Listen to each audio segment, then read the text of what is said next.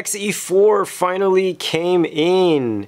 Also, what did you guys think about that intro? Like that whole vortex turning gimbal move? You think that's cool? I think it's pretty cool, but like that might just be me. Let me know down in the comments if you also think that's cool. I'll continue using it in other videos. But I picked this camera up because I kind of wanted to see if I could replace it uh, with the XS10 or the other way around I'm sorry. Replace the XS10 with the XE4 because I love how compact and small this thing is. That's actually one of the first things I want to talk about too is its compact size. Even though realistically in comparison to the XS10 it's got a very similar form factor. Obviously with the XS10 you do have a much deeper grip that adds to its girth but overall it still is pretty much very similar in size. As you can see here lengthwise it's just a little bit shorter and height it's pretty much the same. Obviously on the XE4 you don't have that EVF little bump at the top though. It's just flat and obviously because this is a rangefinder it's already kind of built into it if you will. So that is one of the biggest differences but the fact that it doesn't have the grip or that little bump for the EVF does make it seem significantly smaller in the hands. I mean like realistically like look at that I can almost wrap my hands completely around it and I have pretty small hands. Now there's no doubt this camera is made for a specific kind of shooter but you can't help but notice that Fuji seems to be putting in some effort to create some amazing hybrid cameras and I'm gonna give you kind of like a couple of things that I've noticed to kind of give me that uh, opinion.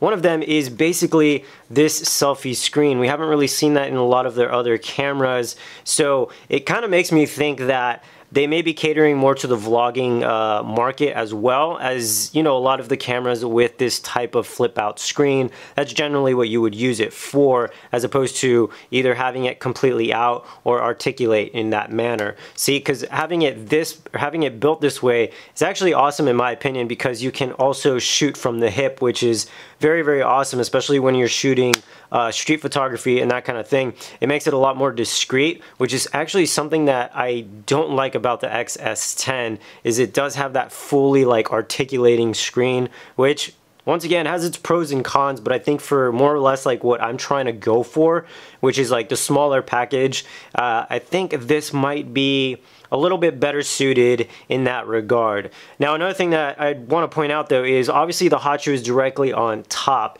So what ends up happening is with the screen completely up, you can see that there's not much um, clearance there for like anything else. So if you were to use a, um, a mic or something like that, you're gonna run into that clearance issue and the screen's gonna probably have to be pushed back a little bit more. And then you also run into the, uh, the additional issue of you're not going to really be able to see what's on the screen because your mic is covering it. Now going back to my point of it being a fantastic hybrid camera is obviously since it is a Fujifilm you have those awesome uh, film simulations built inside the camera. Not to mention you also have that beautiful color science and processing that everyone loves about Fujifilm but also on this camera in particular you do have a three and a half millimeter uh, microphone input which is really really awesome. Once again I think they're trying to just incorporate some of these features for more of those video use users like vloggers for example.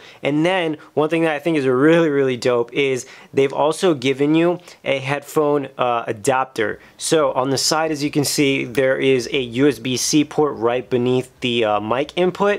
And then they also give you this right here which is a headphone jack. So it goes from your male USB-C to the back end, which is a three and a half uh, millimeter headphone jack, which is really, really dope. I mean, that would be something you generally would find in a camera that's definitely more catered to video than it is stills or either or. So I think that's actually a really cool feature which makes this an amazing hybrid camera, especially for those that want a compact system just like this for video, aka somebody like me.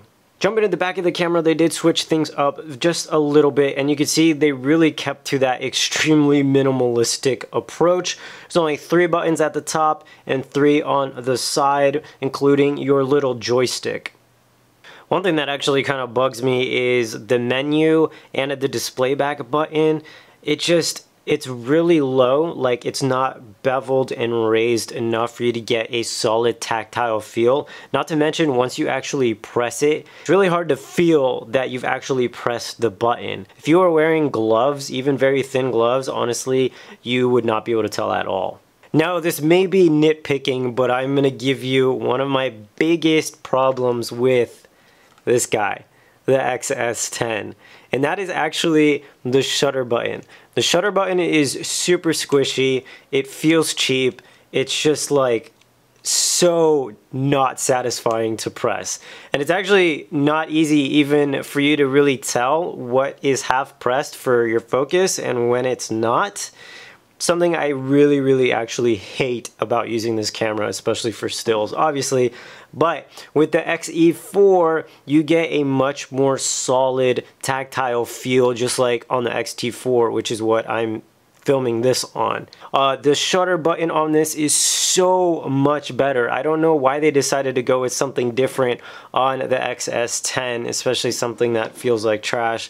But this is a solid tactile feel. You have solid steps so you can actually tell when you are half depressed and you actually know you're going to be focusing and then from there a little bit of further travel to activate the shutter. So getting nitpicky once more and kind of like diving into the design details, uh, something a lot of people might not notice though is the dials on the XE4 are kind of like knurled a little bit different. They're machined a little bit different and actually I kind of like it. It has a little bit more grip to it and it makes it a little bit easier to turn the dials because it has that better grip than you'd find on like the XS10 or even the XT4. This is extremely helpful simply because these dials are way thinner than on the bigger cameras like the XT4 and the XS10. So like naturally you would hope that there is a little bit more grip because there's actually not as much surface area to grab and turn. Well guys, that's my first impressions of the XE4.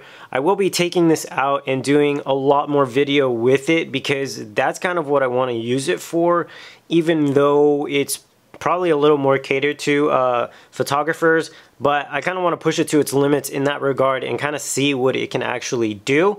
Um, I know that it obviously doesn't do 10-bit, um, but you know, 8-bit is still really, really good, especially for the kind of stuff that I do, which is just these types of videos for YouTube. I also want to test it out in like more of a vlogging setup and see uh, what I can like rig to make it work um, as far as like hooking up a microphone and such because obviously you cannot mount it to the top or you would just block the screen. So stay tuned for that if you're interested in seeing a little bit more video content and uh, more so what this camera can do in the video space. Guys, if you did enjoy this video, please be sure to give it a uh, thumbs up. It really does help the channel continue to grow. And if you're not already subscribed, consider doing so. I do have fresh content coming out for you every single week. And don't forget to hit that bell notification. With that said, guys, thanks for watching, and I will see you all in the next one. Peace.